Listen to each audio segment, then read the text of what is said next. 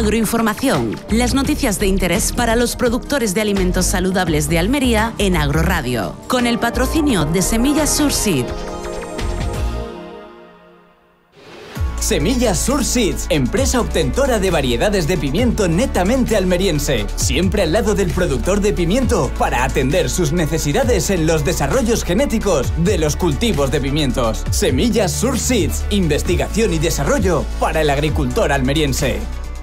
Agroinformación con Miguel Ángel Santiago y José Antonio Escobosa, redactores de Agroradio.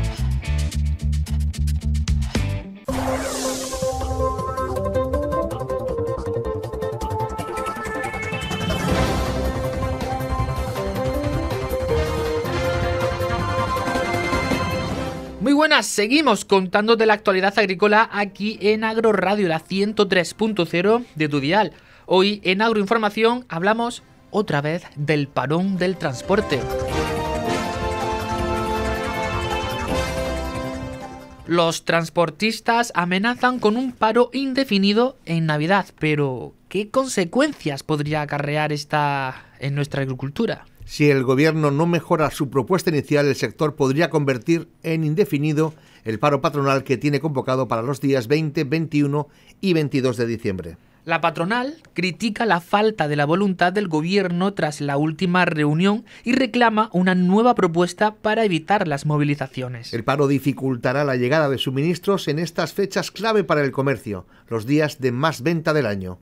El último paro nacional del sector del transporte se produjo en junio de 2008, en los albores de la crisis económica y provocó también fuertes atascos y desabastecimiento de combustible. Para hablar de todo esto tenemos al otro lado del teléfono a Luis Miguel Fernández, gerente de Coexpal. Muy buenas, Luis Miguel Fernández. Sí, soy yo. Eh, bueno, ¿qué daños colaterales puede acarrear este parón del sector del, del transporte en Navidades? Eh, que bueno, que ahora podría ser indefinido. Sí, efectivamente. Por un lado tenemos una noticia menos mala y es que en vez de ser la, la huelga que está, está estaba propuesta la semana 50, va a pasar a la semana 51, concretamente los días del 20 al 22, que ahí tenemos casi la una amenaza indefinida de, de parón de, de los camiones del transporte.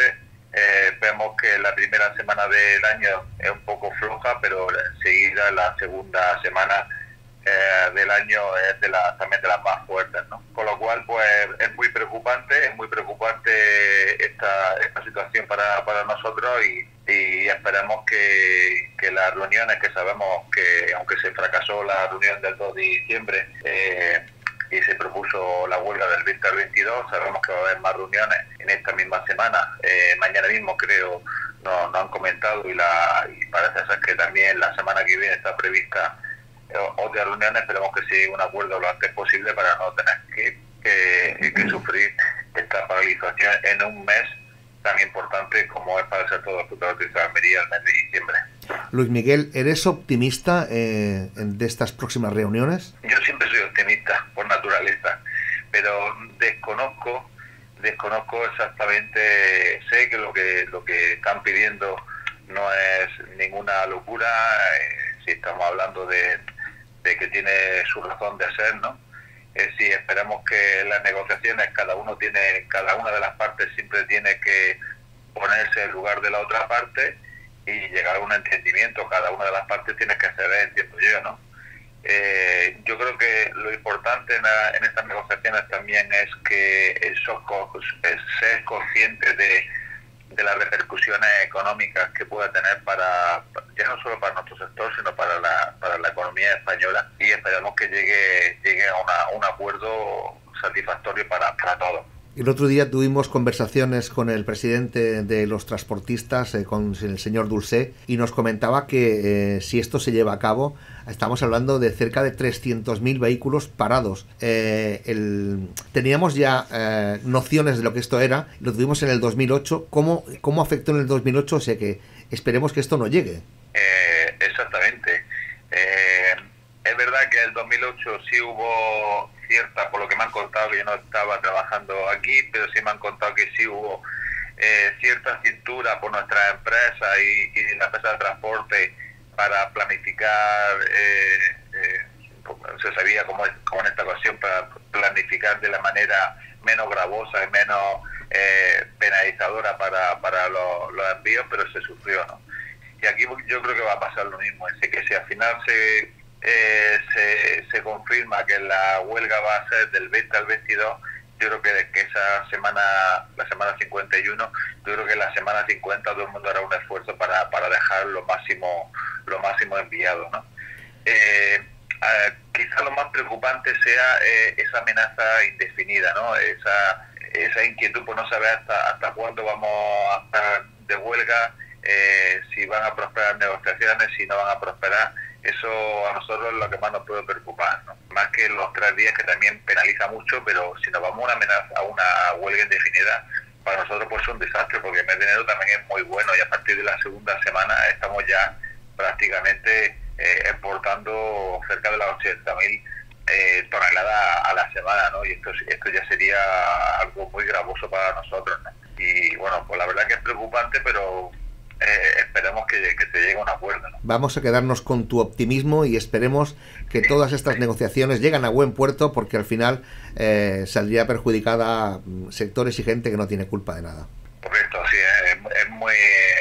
El daño puede ser enorme en la fecha que estamos hablando y no solo en nuestro sector, que estamos muy preocupados, por supuesto, pero para toda la economía española y el momento que estamos viviendo, yo llamaría a la responsabilidad de ambas partes para llegar a un acuerdo cada uno ceda lo que lo que tenga que, que ceder, ¿no? Pero eh, como toda negociación, ¿no? Pero que se llegue pronto y, y, se, y se elimine esta inquietud que tenemos todos por la, la huelga que está que está en tierno, ¿no? Estamos hablando de que estamos estamos el día el, al día 9 que estamos hablando de día 11 días, pues tener la huelga encima, ¿no? Por lo tanto, es importante llegar a un acuerdo y si no llegamos a un acuerdo, pues por lo menos eh, eh, eh, la semana que viene ser lo, bastante bueno para poder colocar el máximo de productos con antelación antes del día 20 y, y para que no sea una huelga definida, que eso sí no haría, no haría muchísimo, muchísimo daño. Luis Miguel Fernández, gerente de Coexpal, te damos las gracias por acercarte a Radio y por ponernos